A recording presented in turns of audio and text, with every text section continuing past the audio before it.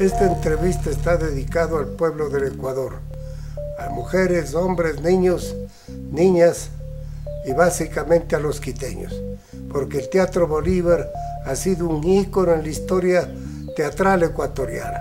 No solamente fue un cine, sino también un teatro donde se presentaron eventos importantísimos. Yo he sido un artista autodidacta básicamente pero esto me ha permitido trabajar con absoluta libertad.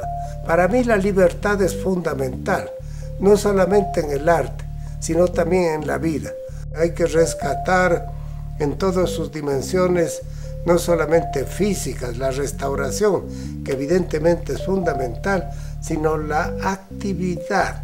Yo creo que deberían apoyar a la Fundación Teatro Bolívar porque de esta manera hace un beneficio no solamente a la ciudad, sino al país.